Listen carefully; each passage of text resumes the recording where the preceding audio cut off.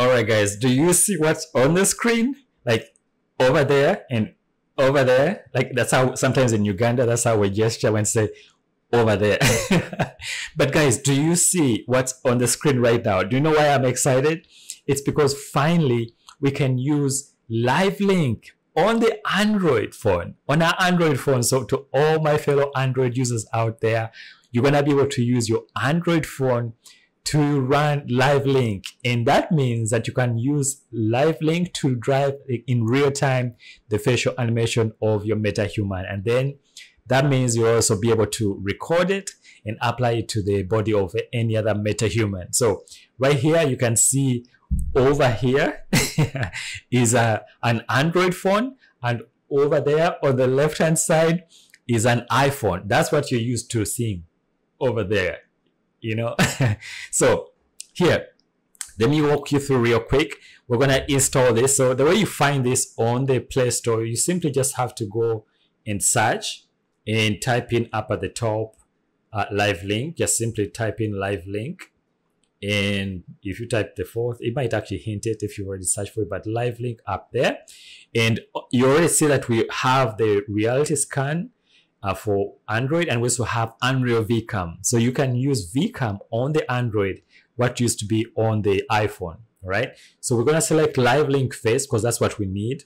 Click on that and just go ahead and install this. Just press install right there and wait for it to finish. Then we're gonna switch out. So right now the MetaHuman is running using a webcam and I'm gonna see what the quality looks like compared to the Android phone because it's always seemed like it, the iPhone was king of facial mocap because of its depth sensing camera and Android phones were left out, you know, making us feel you know lesser than. but all right, so we have Live Link open here and something that you need to keep in mind is make sure you're on the same Wi-Fi connection as your computer. That is very important. Please, whatever you do, make sure your Wi-Fi that is on your iPhone right here on your not iPhone on your Android phone is the same as the computer. So I have a router and the router is spitting out a Wi-Fi connection that I use on my some of my laptop and also on my Android phone and the I, iPhone. So they're using the same thing. So we're gonna go ahead and open this. And by the way, so live link, let's go ahead and update live link as well here. Press update. Boop. Yeah, right there. So I'm updating that because in live link, we're gonna be able to use live link as a webcam essentially. That's what the new update is gonna do for you. So over here, if you go through and swipe through, you can see some of the new updates and you can go and just read more. So live link face for effortless facial mocap. And also here, we're just to go ahead and open on uh, the Android phone. So make sure you accept. It's a live link face end user license. Just scroll all the way down, read through. If you're a lawyer, you can help us understand some of these things, what the implications are. And so one thing that I learned is that uh, they've been they used AI data sets of the uh, the iPhone. They used that. They say they paid talents and they were able to train a lot of faces. So that that's why we're able to get facial mocap like this so effortlessly without a depth sensing camera because they're using artificial intelligence in the back end.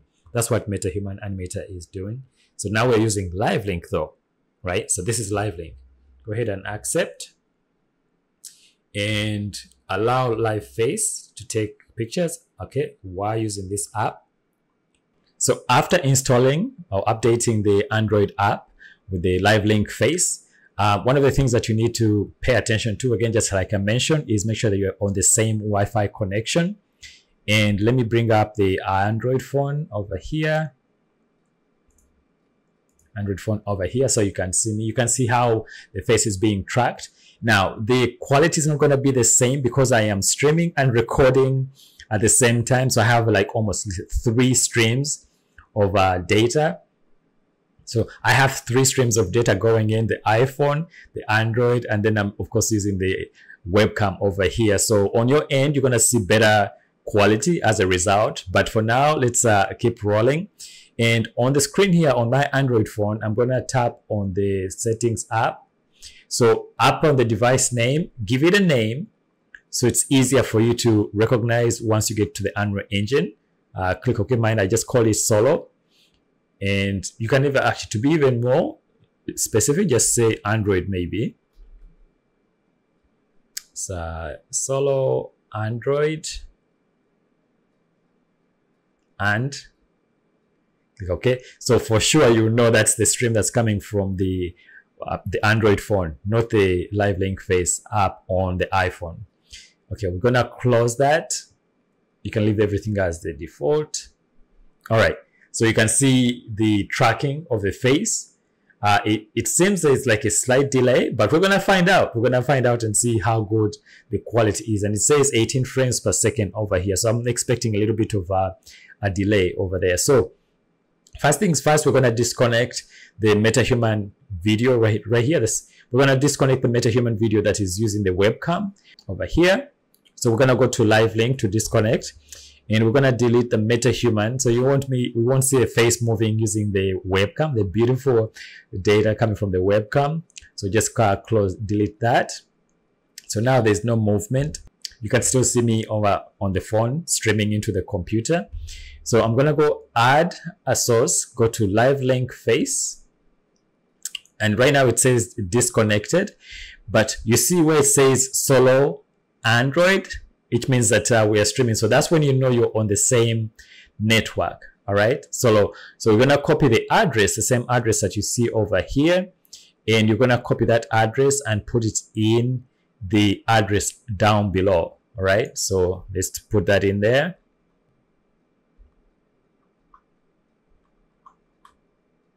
And press enter.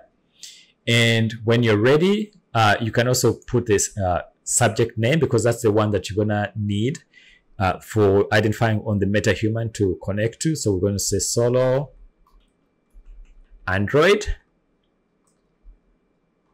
Okay. And then when you're done, just press connect. All right. And now do you see something? Here we have the same offset. If you wanted it to be like to sync up, you can do minus 0.5 so it's kind of similar to what we had before with the MetaHuman video. And everything else is good. So it's ready, it's connected, and it's time for us to test out with the MetaHuman. So the Android phone that you see here is live. As you can see right here, it's updated to about 19, between, uh, between 19 and 18 frames per second. So that's the one that we're using. So we're going to go select our MetaHuman and we're going to minimize live link over here so it, select the, meta, the MetaHuman BP over here. And then, so under the details panel towards the bottom, just go and under live link, select drop, drop down and select solo Android, which is what we have. And guess what? We are streaming from our Android phone. Let me bring it up. So over, over this way. let me kick out of that. So, and also let me bring this one up. So they are side by side. All right, guys. So you can see me streaming from my Android phone into the MetaHuman, and I'm driving the MetaHuman right now. And this my it is mounted, so you can actually see it moving around like that. But overall, so if this were on a head-mounted camera rig, if you have your head-mounted camera rig on your phone, and you have maybe a motion capture suite, even if you're using macOS motion capture uh, like a system, you're gonna be able to drive the MetaHuman using an Android phone live. This is live from an Android phone, right? So let, I'm gonna actually be record. Let me see if I can shoot a video of that as well, so you can actually see it in real life. And I'll probably use. Let me see, because this is streaming. I can actually bring up the camera as well. I'm really stressing my computer up right now. All right, Where's the camera up? All right. Um, not FaceTime. All right, camera. All right. Uh, let's see. So you can actually see there it is. That's the Android phone, right? And you can see the MetaHuman over there.